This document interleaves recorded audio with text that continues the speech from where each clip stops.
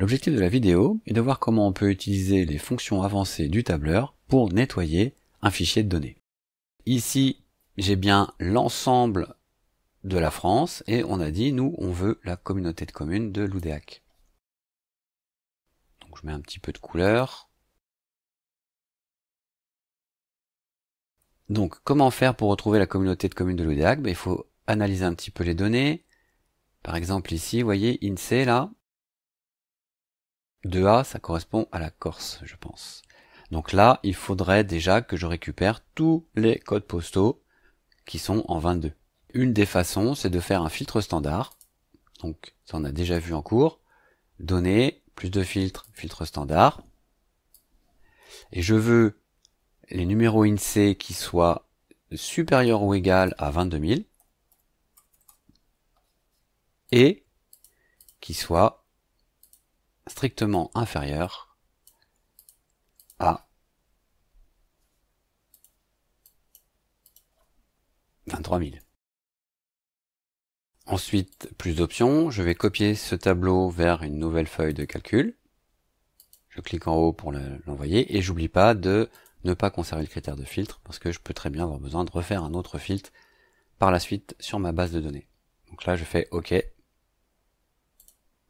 ici, j'ai un tableau bien plus petit, vous voyez, il fait 64 lignes, 63 si on enlève la ligne de titre en haut. Maintenant, il reste un dernier travail. Là, vous avez les communes qui s'affichent. Eh bien, il faut retirer toutes les communes qui ne sont pas dans la communauté de communes de l'Oudéac.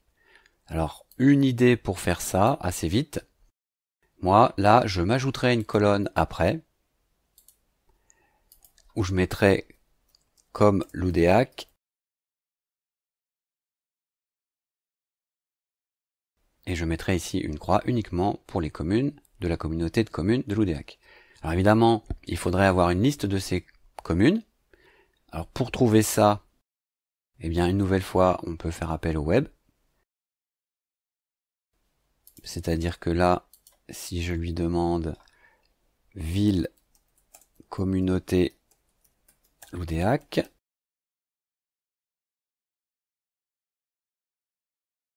alors le premier lien me donne une liste des communes. Alors je ne sais pas si c'est fiable ces données-là.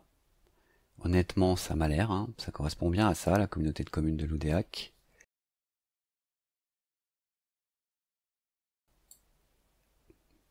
Utiliser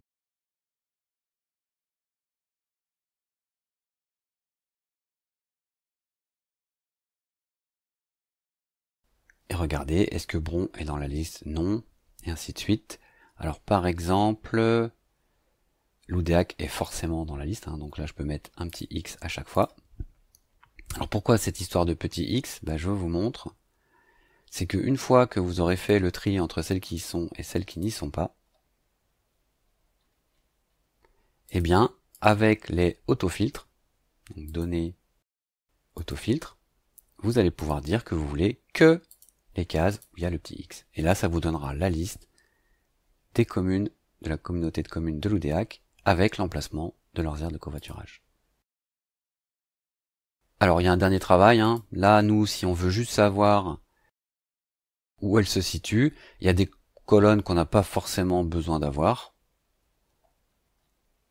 Par exemple la source. Alors la latitude et la longitude, ça peut être pas mal de les garder parce que si un jour vous voulez remettre ces données sur une carte, ce sera très utile. Donc ça je peux l'enlever, supprimer la colonne. Tout ça a priori ça n'a pas été renseigné donc c'est pas la peine de garder. Je supprime les colonnes.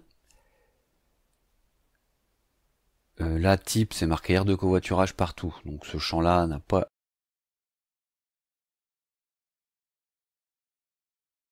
d'intérêt grandiose. Là, est-ce que c'est ouvert? C'est vrai pour tout, donc pareil, hein, je supprime.